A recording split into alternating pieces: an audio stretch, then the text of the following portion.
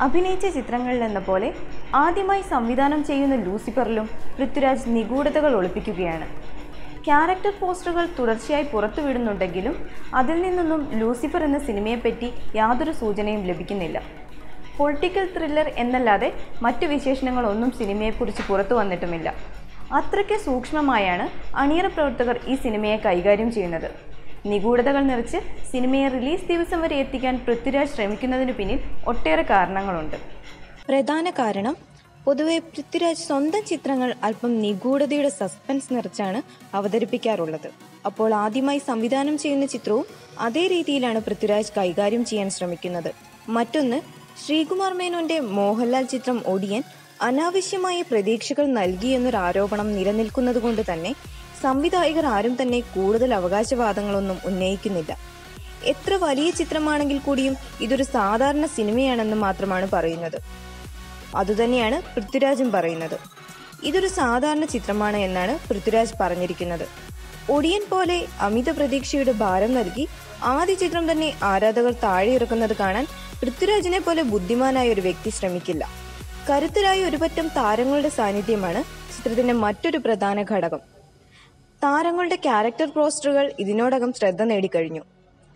Cinema ഇറങ്ങും മുൻപ് കഥയും സൂചനകളും നൽകിയാൽ വമ്പൻ താരനിരയിൽ ഇറങ്ങുന്ന ചിത്രത്തിന് പ്രേക്ഷകരിൽ ഒരു ആകാംക്ഷ ഉണർത്താൻ സാധിക്കില്ല. അതും ഒരു ഘടകമാകാം. ചിത്രത്തിൽ മഞ്ജു വാര്യരുടെ സഹോദരനായി ടൊവിനോ തോമസ് എത്തുന്നു എന്നതാണ് പുതിയതായി വരുന്ന വാർത്ത.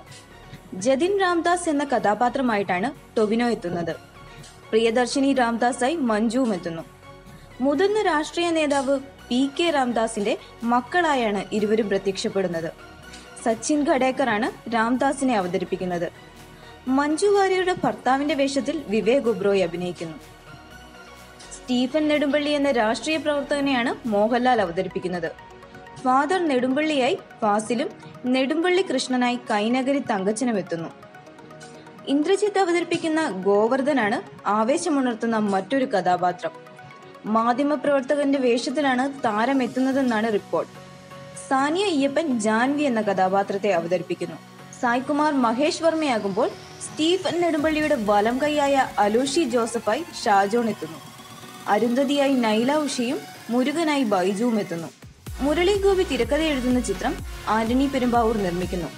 മാർച്ച് ഇരുപത്തിയെട്ടിനാണ് ചിത്രം റിലീസിനെത്തുന്നത്. You are watching You are watching watching me and you're watching me on, on metromatney.com. on metromatney.com. Metromatney.com. Metromatney.com. Subscribe for more videos. subscribe for more videos. Subscribe here for more videos. Subscribe now. Thank you.